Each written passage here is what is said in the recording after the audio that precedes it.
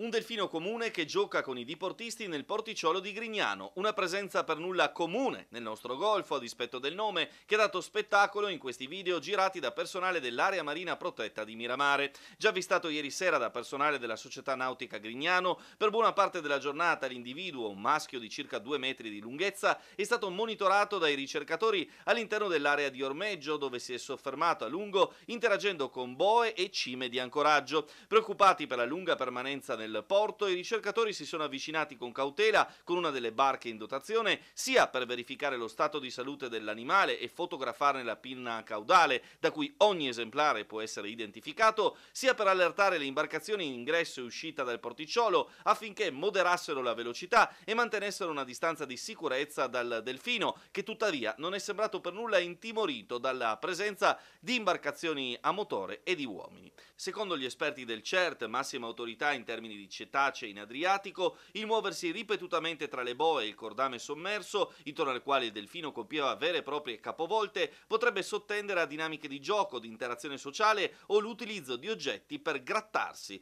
Nulla dunque di preoccupante per il momento, anche perché l'animale è apparso in buono stato di nutrizione e con ritmi regolari di immersione ed emersione. Poi, nel tardo pomeriggio, ha finalmente preso il largo.